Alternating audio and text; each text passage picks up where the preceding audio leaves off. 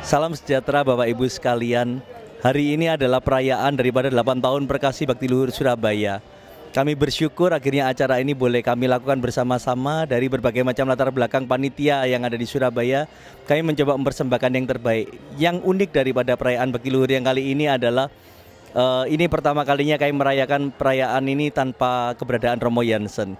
Tapi kami percaya 8 tahun ini boleh ada berarti Tuhan punya suatu rencana ke depannya. Dan kami mengajak Bapak Ibu sekalian untuk bergabung dalam pelayanan ini ke depannya karena masih banyak anak-anak yang membutuhkan daripada uluran tangan Anda sekalian.